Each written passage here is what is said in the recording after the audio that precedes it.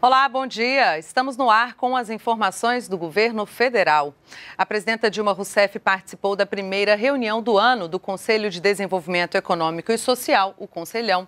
A ideia é que esse conselho seja uma instância diversificada de diálogo entre o governo e a sociedade nas decisões importantes para o país. Em seu discurso, a presidenta Dilma afirmou que o conselho já foi importante para a criação de vários programas do governo federal.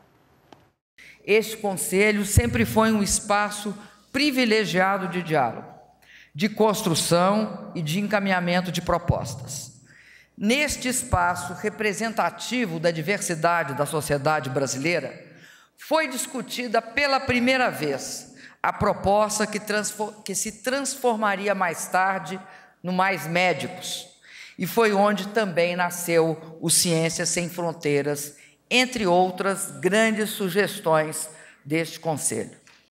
A retomada do crescimento da economia também foi tema do Conselhão. A proposta do governo pretende, sem criar novas fontes de financiamento, como impostos, por exemplo, estimular a economia com medidas de incentivo ao crédito. 83 bilhões de reais virão de recursos já disponíveis na economia, mas que serão realocados para melhor aproveitamento, segundo o ministro da Fazenda, Nelson Barbosa. Temos ações para recuperar o crescimento da economia mais rapidamente, ações de promoção de investimento, que o ministro Valdir coordena no âmbito do planejamento, ações de abertura de mercado, de promoção de exportações, que a ministra Cátia Abreu e o ministro Armando Monteiro estão empenhados e dedicados, eh, não só agora, mas também trabalharam muito nisso no ano passado. E a presidenta Dilma Rousseff visita daqui a pouco aqui em Brasília a Sala Nacional de Coordenação e Controle do Plano de Enfrentamento à Microcefalia. Lá, ao lado do ministro da Saúde, Marcelo Castro, a presidenta conduz uma reunião por videoconferência com os governadores. Na pauta, novas ações de combate ao foco do mosquito Aedes aegypti. O repórter Leandro Alarcon está no local e tem outras informações. Oi, Leandro, bom dia.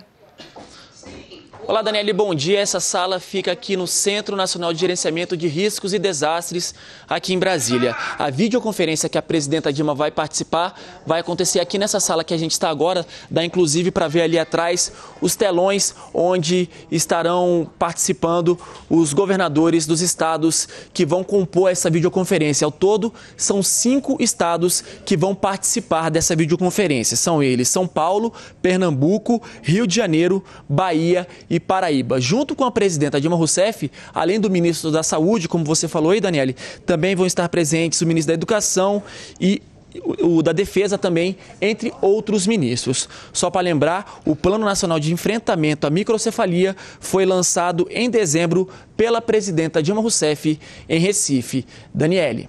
Obrigada, Leandro, pelas suas informações ao vivo. E a presidenta Dilma Rousseff voltou a falar sobre a importância do combate ao mosquito Aedes aegypti na abertura do Conselhão. Precisamos da participação da sociedade nessa batalha que deve ser continuada e que será de médio prazo. Mobilizaremos nossas forças armadas, todos nossos funcionários, e o mesmo fará os governos estaduais e municipais.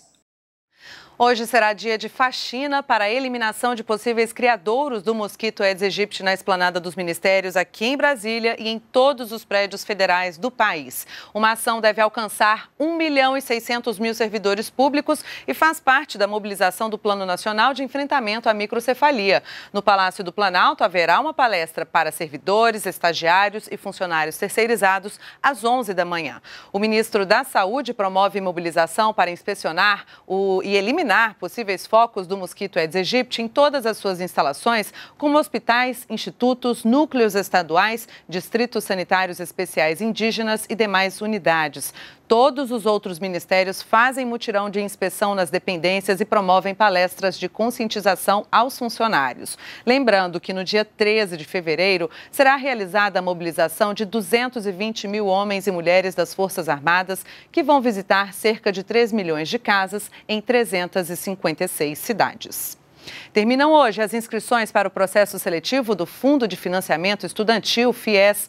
Os interessados devem se inscrever pelo site do programa. O resultado da pré-seleção e a lista de espera serão divulgados na segunda-feira. Os interessados no FIES devem se inscrever pela internet até às 11 horas e 59 minutos da noite desta sexta-feira. É necessário ter renda familiar mensal bruta de até dois salários mínimos e meio por pessoa, ou seja, R$ 2.200. E quem tiver interesse pela segunda chamada do SISU, o Sistema de Seleção Unificada, também deve se inscrever até hoje pela internet. A convocação para a matrícula dos candidatos em lista de espera começa no dia 4 de fevereiro, quinta-feira que vem. Neste ano foram ofertadas 228 mil vagas em 131 instituições. E nós voltamos às 11 horas com mais informações. Continue com a gente, NBR, a TV do Governo Federal.